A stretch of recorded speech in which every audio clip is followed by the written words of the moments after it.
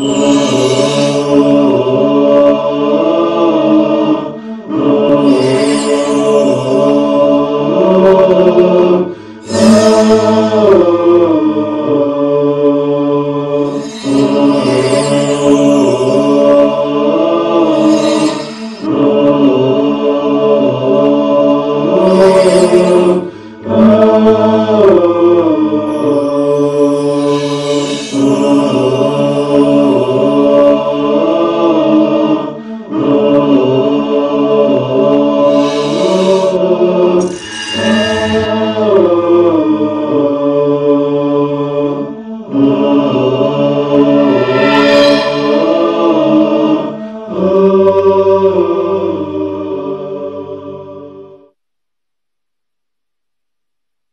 السلام عليكم ورحمة الله وبركاته الحمد لله والصلاة والسلام على رسول الله أما بعد أعوذ بالله من الشيطان الرجيم بسم الله الرحمن الرحيم وقضى ربك ألا تعبدوا إلا إياه وبالوالدين إحسانا إما يبلغن عندك الكبر أحدهما أو كلاهما فلا تكن لهما أف ولا تنهرهما وقل لهما قولا كريما সুপ্রিয় দর্শকবৃন্দ, আজকে আলোচ্য বিষয়ে থাকছে পিতামাতার সাথে সদ্ব্যবহার এবং সন্তানের ওপরে পিতামাতার অধিকার সম্পর্কে। আল্লাহ কোরআনে বললেন, যে আল্লাহর ইবাদতের পর তোমরা পিতামাতার সাথে সদ্ব্যবহার করবে, তাদের উভয়েই যদি বার্ধক্যে পৌঁছে যায়, কিংবা তাদের একজন যদি বার্ধক্যে পৌঁছে যায়, তাহলে তাদের সাথে খবরদার কোনো সময় ও শব্দ ব্যবহার করবে না। এবং তাদের সাথে জোরে চেঁচিয়ে কথা বলবে না, বরং তাদের সাথে সম্মান জড়িত কণ্ঠে কথা বলবে এবং তাদের জন্য তোমাদের রহমতের বাদুকে বিছিয়ে দিবে। আল্লাহ রব্বুল আলমিন কোরআনে আমাদের এই নির্দেশ দিলেন এবং এ কথাও বললেন, তাদের জন্য দোয়া করে বলবে রব্বির হামহুমা কামা রব্বায়ানি সগিরা, আল্লাহ তুমি ওদের প্রতি রহম করো, দয়া করো, যেমন তারা আমার প্রতি দয়া করেছিল যখন আমি ছোট শিশু ছিলাম। আবদুল্লাহ বিন মাসুদের হাদিস আলোচনা হয়েছে। পূর্বে যে রাসুল করিম সাল্লাহ সাল্লামকে জিজ্ঞাসা করা হয়েছিল যে সব থেকে উত্তম কাজ কি আল্লাহ নবী বলেছিলেন সব থেকে উত্তম কাজ হচ্ছে নামাজ ঠিক মতন আদায় করা, দুই নম্বরে মা বাপের সাথে সদ্ব্যবহার করা আর তিন নম্বরে হচ্ছে যে আল্লাহর পথে জিহাদ করা। বুখারি ও মুসলিম শরীফের হাদিস আর একটি হাদিসের মধ্যে আসছে, একজন সাহাবি আল্লাহ নবীকে এসে বলছেন মান আহাক্কুন নাস বেহসনে সাহাবাতি, ইয়া রসুল আল্লাহ হে আল্লাহর রসুল, আমার সৎ ব্যবহার পাওয়ার অধিকার সব থেকে কার বেশি? কাল উম্মুক, আল্লাহ নবী বললেন, তোমার মা। তারপরে সাহাবি বললেন, সোম্মা মান? কালা উম্মুক, আল্লাহ নবী বললেন, তোমার মা। কালা সোম্মা মান? সাহাবি বলছেন, তারপর? আল্লাহ নবী বলছেন, সোম্মা উম্মুক, তারপরে তোমার মা। সাহাবি বলছেন, সোম্মা মান? তারপর কে? কালা সোম্মা আবুক, তারপর হচ্ছে তোমার বাপ। এখানে মহানবী মোহাম্মদ সাল্লাহ আলি সাল্লাম মায়ের কথা তিনবার বললেন। সাহাবি জিজ্ঞাসা করছেন যে, আমার সব ব্যবহার, পাওয়ার অধিকার সব থেকে কার বেশি? তো আল্লাহ নবী বলছেন, তোমার মা। তারপরে বললেন, তোমার মা। তারপরে বললেন, তোমার মা। তারপরে বললেন, তোমার বাপ। তিনবার মায়ের কথা বললেন, চতুর্থবারে বাপের কথা বললেন। এখানে আসলে ব্যাপারটা এমন না যে, বাপের মর্যাদাকে খাটো করা হয়েছে বা বাপের মর্যাদাকে কম করা হয়েছে। না, ব্যাপারটা হচ্ছে যে, মা মা যে কোরবানি দিয়েছে, মা যে ত্যাগ স্বীকার করেছে, সেই ত্যাগ স্বীকার আর কোরবানি দেওয়ার ব্যাপারে বাপের ভাগ কিছু কম আছে। অনেক সময় দেখবেন, বাপ বাইরে গেছে, বাপের কোনোই খোঁজ নেই, ছেলেরা কি করছে, না করছে, সমস্ত কিছু দেখাশোনা, সমস্ত কিছু দায়িত্ব ভার কার উপরে? মায়ের ওপরে একজন বাপ রাগান্বিত হয়, ছেলেকে মারে, ছেলে বাড়ি থেকে চলে যায় রাগ করে, বাবার কোনো খেয়াল থাকে না মেরেছিল, আবার ছেলে চলে আসবে। বাবা আপনার খাওয়া দাওয়া করে ঘুমিয়ে যায়। কিন্তু মা মা কিন্তু ঘুমায় না। এ বিচারি ওই দরজায় গিয়ে কান লাগিয়ে থাকে, ছেলেটা কোথায় গেল? রাতে কোথায় যে চলে গেল রাগ করে, কখন ফিরে আসবে? ঠান্ডার সময় কখন কি হয়, না হয়, এর কিন্তু ঘুম হয় না। এই কিন্তু দরজা লাগিয়ে ওই ছেলেটার বা তার সন্তানের আশায় অপেক্ষায় দাঁড়িয়ে থাকে। তারপরে যখন ছেলে অনেক রাতে বাড়ি ফিরে, তখন ছেলেকে কোলের সাথে জড়িয়ে বলে বাবা, এরকম করতে নাই। চ, তোর বাপ মেরেছে, তাতে রাগ করার কি আছে? বাপ তো শাসন করবে, তাতে কি রাগ করতে হয়? এরকম রাগ করতে নাই। বাপ ঘুমিয়ে গেছে, কিন্তু মা সারা রাত দাঁড়িয়ে আছে ছেলেটার অপেক্ষায়, কারণ মায়ের জান এমন যে সে তার ঘুম আসবে না, তার পেটে খাবার যাবে না, যতক্ষণ না ছেলেকে সে খাইয়েছে। তাই আল্লাহ নবী মোহাম্মদ রসুল্লাহ সাল্লাহ সাল্লাম এখানে তিনবার মায়ের কথা বললেন যে, তোমার মা তোমার মা তোমার মা চতুর্থবারে বললেন, তোমার ভাব তো ভাইয়ের, আমার কথা হচ্ছে, এখানে আল্লাহ নবী মোহাম্মদ রসুল্লাহ সাল্লাহ সাল্লাম হাদিসে মা বাপের কথাও উল্লেখ করলেন যে, তাদের ফজিলত হচ্ছে এরকম যে তাদের সাথে সদ্ব্যবহার, এইভাবে করতে হয়। সব থেকে বেশি সদ্ব্যবহার পাওয়ার অধিকার হচ্ছে তাদের। আর একজন সাহাবি আল্লাহ নবীর কাছে এসে বলছে রাসুল আল্লাহ আমাকে অনুমতি দেন, আমি যুদ্ধে যেতে চাই। তখন আল্লাহ নবী বলছেন হাইয়ুন ওয়ালেদাক, তোমার মা বাপ জীবিত আছে নাকি? তখন সাহাবি বলছেন হ্যাঁ আমার মা বাপ তো জীবিত আছে। তখন আল্লাহ নবী বলছেন, ফি হিমা ফাজাহিদ, যাও, তাদের খিদমত করে জিহাদ করগা বোখারি ও মুসলিম শরীফের হাদিস, আল্লাহ নবী বলছেন, যাও তাদের খিদমত করে জিহাদ করগা। এখান মানে তাদের খিদমত করতে গেলে তার বুড়ো বৃদ্ধ মা বাপকে ঘরে রেখে তুমি জিহাদে চলে যাবে, এটা দরকার নাই। বরং তাদের যদি খিদমত করো, তাহলে জিহাদের সমান তুমি নেকি পাবে। রাসুল করিম সাল্লাম মা বাপের খিদমত এবং তাদের সম্মান ও মর্যাদার কথা উল্লেখ করে বলছেন, রাগে বা আনফুন, রাগে বা আনফুন, রাগে বা আনফুন, মান আদ্রাকা আবাওয়াইহে আইন্দাল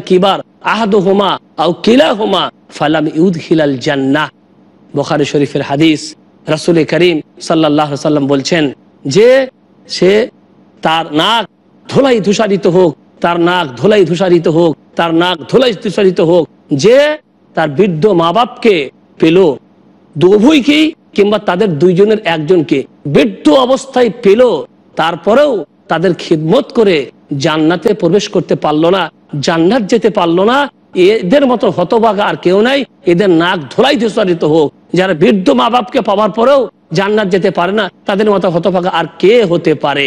অনুরূপ ভাবে আর একটি হাদিসের মধ্যে আসছেন, সহি হাদিস, মুসনাদ আহমদে বর্ণিত হয়েছে, রাসুল করিম সাল্লাহ আলি সাল্লাম একদিন খুদবার দেওয়ার জন্য মিম্বরে চাপছেন। প্রথম ধাপে পা দিয়েছেন, আমরা সবাই জানি যে আমাদের সমাজে বা আমাদের মসজিদগুলাতে খুদবার জন্য যে মিম্বরটা তৈরি হয় এটা কাঠের তিন ধাপ তৈরি হয়। অধিকাংশ তিনটে ধাপ হয়।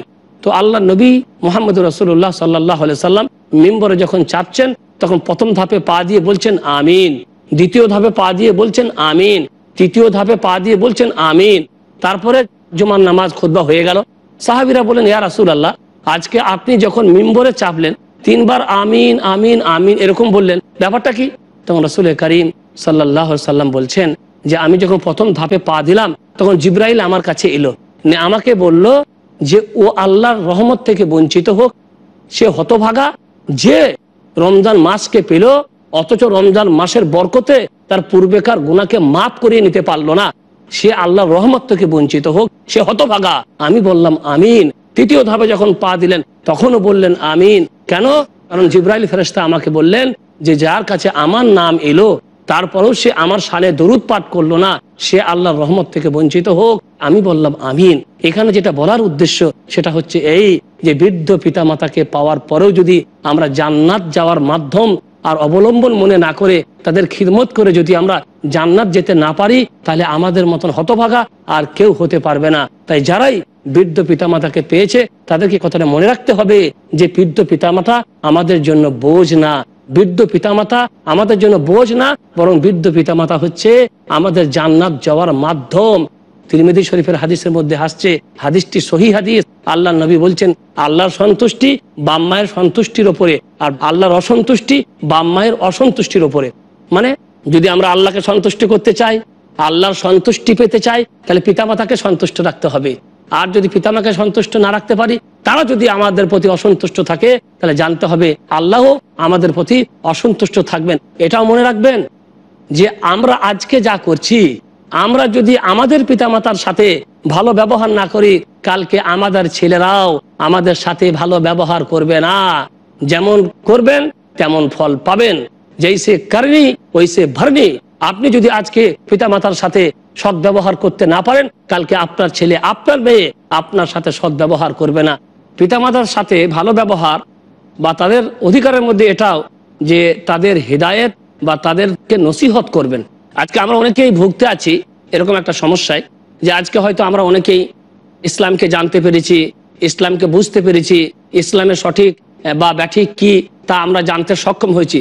কিন্তু আমাদের অনেকের পিতামাতা এখনও পর্যন্ত কিন্তু অন্য পথে বা অন্য মতে রয়েছে। তাদেরকে আমাদের উচিত যে আমাদের এই ইসলামের সঠিক আকিদার দিকে বা সঠিক বিশ্বাসের দিকে তাদেরকে নিয়ে আসা বা তাদেরকে দাওয়াত দেওয়া, এটা কিন্তু আমাদের দায়িত্ব। কারণ হচ্ছে যে আমরা যদি পিতামাতাকে ভালোবেসে থাকি, তাহলে তাদের ভালোবাসারই একটা অংশ হচ্ছে যে তাদের আখেরাতের কথা চিন্তা করতে হবে। আজকে আমি আর আপনি, আল্লাহর রহমতে আমরা পিতামাতাকে অনেকেই ভালোবাসি। আছে কিছু মানুষ যারা হয়তো পিতামাতার সাথে সদ্ব্যবহার করে না পিতামাতার সাথে হয়তো খারাপ ব্যবহার করে, কিন্তু সবাই তো এরকম না। আমরা অনেকেই আল্লাহ রহমতে পিতামাতার সাথে ভালো ব্যবহার করি। কিন্তু এই ভালো ব্যবহার করার সময় কিন্তু শুধু আমরা দুনিয়ারটাই ভাবি। মায়ের ওষুধের দরকার, মায়ের কাপড়ের দরকার, মায়ের শাড়ির দরকার, মায়ের একটা সুন্দর বাড়ির দরকার, মায়ের একটা থাকার জন্য একটা পাংখার দরকার, মায়ের থাকার জন্য একটা সুন্দর গদি বালিশের দরকার, মায়ের আর একটা এগুলো কিন্তু আমরা ভাবি। এবং এগুলো আমরা মায়ের মহব্বতে, মা বাপকে ভালোবাসতে গিয়ে আমরা এগুলো নিয়ে এসে মাকে দিই। যাতে করে মা আমাদের প্রতি সন্তুষ্ট এবং মা খুশি থাকে। খুব ভালো জিনিস। এগুলো অবশ্যই করতে হবে। মায়ের চিকিৎসা, মায়ের খাওয়া দাওয়া মায়ের থাকা, এগুলি অবশ্যই করতে হবে মা বাপের জন্য। এগুলো করবেন ঠিকই আছে। কিন্তু সেই সাথে সাথে মা বাপের আখেরাতের কথাটাও ভাবতে হবে। যদি আপনার মা আমার মা বেনামাজি হয় নামাজ না পড়ে সঠিক ইসলামের ওপর যদি কায়েম না থাকে অনেক বাম্মারা আছে, ওই শিরিক বিদাতে ডুবে আছে, অনেক ছেলে আছে যারা হয়তো বিদেশে গিয়ে বা অন্য জায়গাতে গিয়ে মোটামুটি একটা পরিবেশ পেয়ে বা কোনো কিতাব পড়ে বা কোনো আলেমের সংঘর্ষ পেয়ে বা কোনো ক্যাসেটের মাধ্যমে বা এরকম এই ইসলামিক চ্যানেলগুলির মাধ্যমে অনেকে কি হয়েছে, আল্লাহ দিয়েছে যে তারা সঠিক ইসলামকে বুঝতে সক্ষম হয়েছে। এখন তারা বুঝতে পেরেছে, এখন তাদের সমস্যা হচ্ছে যে এখন আমরা কি করি? বাম্মাকে কি বলব? বাম্মাকে তো আর মেরে শাসন করা যায় না। বাম্মাকে তো আর জোর করে কিছু করানো যায় না। নিজের ছেলে হয়, নিজের ছেলেকে শাসন করা যাবে, নিজের স্ত্রীকে শাসন করা যাবে, নিজের স্ত্রীকে সঠিক পথে আনা যাবে। কিন্তু বাম্মায়ের জন্য কি করব? এটা নিয়ে তাদের সমস্যা হয়ে যায়। তো ভাইরা আমার কথা হচ্ছে, সমস্যা হয়, বরং অনেক সময় দেখা যায়, ও আমাদের কাছেও অনেক রকমের প্রশ্ন আসে। অনেকেই আমাদের কাছে বলে যে, হুজুর, দেশে গেলাম, দেশে গিয়ে যখন বাম্মাকে বলি, তো বাম্মা তখন বলে যে, তোর মাথায় নষ্ট হয়ে গেছে, তুই বুঝতে পারিস না তুই জানতে পারিস না আজকে চোদ্দ গোষ্ঠী ধরে আমরা যে কাজটা করে আলাম চোদ্দ গোষ্ঠী ধরে আমরা যে জিনিসগুলো পালন করে আলাম আজকে তুই বলছিস যে এগুলা ঠিক না, আজকে তুই বলছিস এগুলা ইসলামে নেই, তাহলে আমাদের আগেকার যত মানুষ, যত পূর্বপুরুষ এসছিলেন, তারা কি সব ভুল কাজ করে গেল? এই সমস্ত কথাবার্তা বলে ওরা প্রত্যাখ্যান করে দেয়, স্বীকার করতে চায় না। সমস্যা আছে, এখন আপনি কি করবেন? আপনার কাজ আপনি বোঝাবেন। এখন একটু সামান্য বিরতি নিচ্ছি। বিরতির পরে আবারও আসব। সাথে থাকুন, ইনশাআল্লাহ তাআলা। বিরতির পর আবারও আপনাদের স্বাগত জানাচ্ছি। কথা চলছিল, আজকে যদি আমি আর আপনি আমার বাপ মায়ের সাথে ভালো ব্যবহার না করি, তাহলে মনে রেখে দিবেন, কালকে আমাদের ছেলেরাও আমাদের সাথে ভালো ব্যবহার করবে না। তাই সব সময় এই কথাটা খেয়াল রাখবেন যে পিতামাতার সাথে ভালো ব্যবহার করতে হবে। অনুরূপভাবে পিতামাতার সাথে ভালো ব্যবহার বা তাদের অধিকারের মধ্যে এটাও যে তাদের হেদায়েত বা তাদেরকে নসিহত করবেন। আজকে আমরা অনেকেই ভুগতে আছি এরকম একটা সমস্যায় যে আজকে হয়তো আমরা অনেকেই ইসলামকে জানতে পেরেছি, ইসলামকে বুঝতে পেরেছি, ইসলামের সঠিক বা ব্যাঠিক কি তা আমরা জানতে সক্ষম হয়েছি। কিন্তু আমাদের অনেকের পিতামাতা এখনও পর্যন্ত কিন্তু অন্য পথে বা অন্য মতে রয়েছে। তাদেরকে আমাদের উচিত যে আমাদের এই ইসলামের সঠিক আকিদার দিকে বা সঠিক বিশ্বাসের দিকে তাদেরকে নিয়ে আসা বা তাদেরকে দাওয়াত দেওয়া, এটা কিন্তু আমাদের দায়িত্ব। কারণ হচ্ছে যে আমরা যদি পিতামাতাকে ভালোবেসে থাকি, তাহলে তাদের ভালোবাসারই একটা অংশ হচ্ছে যে তাদের আখেরাতের কথা চিন্তা করতে হবে। আজকে আমি আর আপনি, আল্লাহর রহমতে আমরা পিতামাতাকে অনেকেই ভালোবাসি। আছে কিছু মানুষ যারা হয়তো পিতামাতার সাথে সদ্ব্যবহার করে না, পিতামাতার সাথে হয়তো খারাপ ব্যবহার করে, কিন্তু সবাই তো এরকম না। আমরা অনেকেই আল্লাহর রহমতে পিতামাতার সাথে ভালো ব্যবহার করি। কিন্তু এই ভালো ব্যবহার করার সময় কিন্তু শুধু আমরা দুনিয়ারটাই ভাবি। মায়ের ওষুধের দরকার, মায়ের কাপড়ের দরকার, মায়ের শাড়ির দরকার, মায়ের একটা সুন্দর বাড়ির দরকার, মায়ের একটা থাকার জন্য একটা পাংখার দরকার, মায়ের থাকার জন্য একটা সুন্দর গদি বালিশের দরকার, মায়ের আর একটা এগুলো কিন্তু আমরা ভাবি। এবং এগুলো আমরা মায়ের মহব্বতে মা বাপকে ভালোবাসতে গিয়ে আমরা এগুলো নিয়ে এসে মাকে দিই। যাতে করে মা আমাদের প্রতি সন্তুষ্ট মা খুশি থাকে। খুব ভালো জিনিস। এগুলো অবশ্যই করতে হবে। মায়ের চিকিৎসা, মায়ের খাওয়া দাওয়া মায়ের থাকা, এগুলি অবশ্যই করতে হবে মা বাপের জন্য। এগুলো করবেন, ঠিকই আছে। কিন্তু সেই সাথে সাথে মা বাপের আখেরাতের কথাটাও ভাবতে হবে। যদি আপনার মা, আমার মা বেনামাজি হয়, নামাজ না পড়ে, সঠিক ইসলামের ওপরে যদি কায়েম না থাকে, অনেক বাম্মারা আছে, ওই শিরিক বিদাতে ডুবে আছে, অনেক ছেলে আছে যারা হয়তো বিদেশে গিয়ে বা অন্য জায়গাতে গিয়ে মোটামুটি একটা পরিবেশ পেয়ে বা কোনো কিতাব পড়ে বা কোনো আলেমের সংঘর্ষ পেয়ে বা কোনো ক্যাসেটের মাধ্যমে বা এরকম এই ইসলামিক চ্যানেলগুলির মাধ্যমে অনেকে কি হয়েছে? আল্লাহ দিয়েছে যে তারা সঠিক ইসলামকে বুঝতে সক্ষম হয়েছে। এখন তারা বুঝতে পেরেছে, এখন তাদের সমস্যা হচ্ছে যে এখন আমরা কি করি? বাম্মাকে কি বলব? বাম্মাকে তো আর মেরে শাসন করা যায় না। বাম্মাকে তো আর জোর করে কিছু করানো যায় না। নিজের ছেলে হয়, নিজের ছেলেকে শাসন করা যাবে, নিজের স্ত্রীকে শাসন করা যাবে, নিজের স্ত্রীকে সঠিক পথে আনা যাবে। কিন্তু বাম্মায়ের জন্য কি করব? এটা নিয়ে তাদের সমস্যা হয়ে যায়। তো ভাইরা আমার কথা হচ্ছে, সমস্যা হয়, বরং অনেক সময় দেখা যায়, ও আমাদের কাছেও অনেক রকমের প্রশ্ন আসে। অনেকেই আমাদের কাছে বলে যে, হুজুর, দেশে গেলাম, দেশে গিয়ে যখন বাম্মাকে বলি, তো বাম্মা তখন বলে যে, তোর মাথায় নষ্ট হয়ে গেছে, তুই বুঝতে পারিস না তুই জানতে পারিস না আজকে চোদ্দ গোষ্ঠী ধরে আমরা যে কাজটা করে আলাম চোদ্দ গোষ্ঠী ধরে আমরা যে জিনিসগুলো পালন করে আলাম আজকে তুই বলছিস যে এগুলো ঠিক না, আজকে তুই বলছিস এগুলো ইসলামে নেই, তাহলে আমাদের আগেকার যত মানুষ, যত পূর্বপুরুষ এসছিলেন, তারা কি সব ভুল কাজ করে গেল? এই সমস্ত কথাবার্তা বলে ওরা প্রত্যাখ্যান করে দেয়, স্বীকার করতে চায় না। সমস্যা আছে, এখন আপনি কি করবেন? আপনার কাজ আপনি বোঝাবেন। কেমন ভাবে কি করে কথা বলতে হয়? কীভাবে বোঝাতে হয়? সে কথাও আল্লাহ তালা কোরআনে আমাদেরকে দেখিয়েছেন হজরত ইব্রাহিম আলী সালামের কথা। আমরা কে জানি না? ইব্রাহিম আলাই সালাম এমন একটা পরিবেশে আসছিলেন যে পরিবেশের মানুষগুলা মূর্তির পূজা করত। তার বাপ মূর্তির পূজা করত, মূর্তি বিক্রি করত বাজারে গিয়ে। তাই একদিন হজরত ইব্রাহিম আলী সালাম তার বাপের কাছে গেলেন বাপকে দিনের দাওয়াত দেওয়ার জন্য। সঠিক দিনের দাওয়াত দেওয়া এটা প্রত্যেক ছেলেদের দায়িত্ব। বাপদেরকে বুঝাতে হবে এটা মনে করেন আমার বাপ তো, ওকে আমি আর কি বলব? আমার মা তো। মাকে আমি আর কি বুঝাবো না? আপনার বাপ মা হলেও আপনি হয়তো একটি পরিবেশে বা কোনো মাধ্যমে সঠিক ইসলামকে বুঝতে সক্ষম হয়েছেন, আর সেই জিনিসটা আপনার বাপ মা পায়নি। অতএব আপনি আপনার বাপ মাকে বোঝাবেন শ্রদ্ধা জড়িত কণ্ঠে আদব বজায় রেখে বেদবি না করে তাদের সাথে জোরে কথা না বলে সুন্দরভাবে, নরমভাবে তাকে বোঝাবার চেষ্টা নেবেন। যেমন আল্লাহ রব্বুল আলমিন কোরআনে হজরতে ইব্রাহিম আলাই সালামের কথা উল্লেখ করে বলছেন হজরত ইব্রাহিম আলাই সালাম তার বাপার কাছে গিয়ে বলল, সোরা মারিয়ামি আল্লাহ রবুল আলমিন এই ঘটনা উল্লেখ করেছেন যে সে তার বাপার কাছে কি বলল, ইয়া আবাতি, লেমা তাবুদ মালা ইয়াসমাও ওয়ালা ইউসেরো ওয়ালা ইউগুনি আনকা সাইয়া হে আব্বা যান এমন মাবুদের ইবাদত কেন করেন? এমন মূর্তির পূজা কেন করেন? লা ইয়াসমাও ওয়ালা ইউসের যে শুনতেও পাই না, দেখতেও পাই না ওয়ালা ইউগনি আনকা আর তোমার কিছু করতেও পারে না।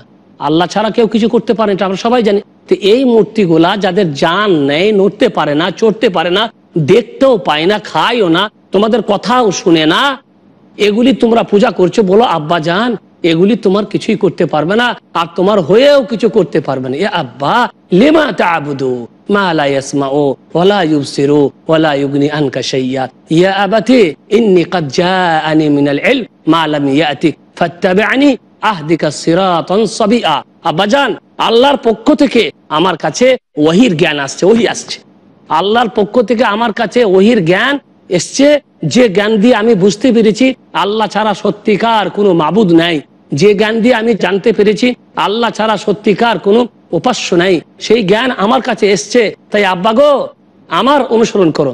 আমার কথা শোনো। আহ দেখা সিরাতন সাবিআ, আমি আপনাকে সঠিক পথ দেখাবো, সোজা রাস্তা দেখাবো। কত সুন্দর করে বুঝাচ্ছেন কতগুলোর প্রতি খেয়াল রাখবেন।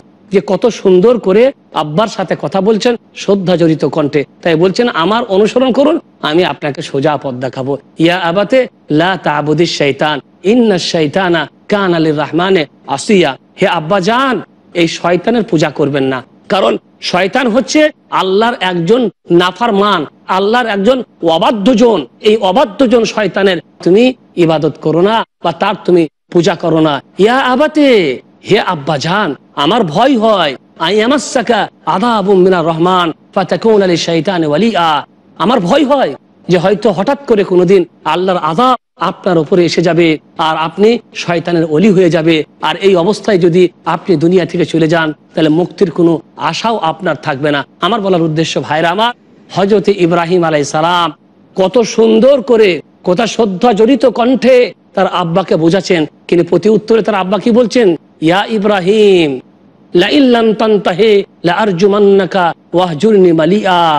হে ইব্রাহিম, এই যে মূর্তি, এই যে খুদা আমরা যে কুলাকে মানি, এগুলাকে তুমি কি মানো না? এদের তুমি বদনাম করছ, এগুলাকে তুমি স্বীকার করো না? আমাকে তুমি এই কাজ থেকে বিরত থাকতে বলছো? এরকম কথা যদি আগামীতে কোনোদিন বলো, তাহলে আমি তোমাকে পাথর মেরে শেষ করে দেব। চিরদিনের জন্য তুমি আমাকে ছেড়ে চলে যাবে। বাপকে কথা বললেন, পিতাকে কথা বললেন শ্রদ্ধা জড়িত কণ্ঠে কত সুন্দর ভাবে নরম ভাবে বোঝাবার চেষ্টা করলেন। কিন্তু বাপ কি বলছে যে, এরকম কথা যদি আগামীতে বলো, তাহলে তোমাকে এমন মার মারবো যে তুমি চিরদিনের জন্য আমার থেকে বিদায় হয়ে যাবে। ভাড়া আমার, আজকে আমরা যারা এরকম একটা সমস্যায় ভুগতে আছি যে মা আমার কথা শুনছে না, মা বিদাতে, সিঁড়িকে এমন নানা রকমের অন্যায় জড়িত রয়েছে, বাপ আমার কথা শুনছে না, তাদের জন্য দৃষ্টান্ত হচ্ছে। এই দৃষ্টান্ত যে ইব্রাহিম আলহ সালামকেও তার বাপ তাড়িয়ে দিয়েছিল। ইব্রাহিম আলাহ সালামের কথাকে প্রত্যাখ্যান করেছিল, এগুলি আমাদের জন্য নমুনা। অথবা আমার দুঃখ করার কোনো কথা নাই। বাপের কাছে গিয়ে, মায়ের কাছে গিয়ে বোঝানোর পরে যদি তারা না বুঝে, তার জন্য আমার করার কিছু নেই। তার জন্য আল্লাহর কাছে আমাকে জিজ্ঞাসিত হতে হবে না।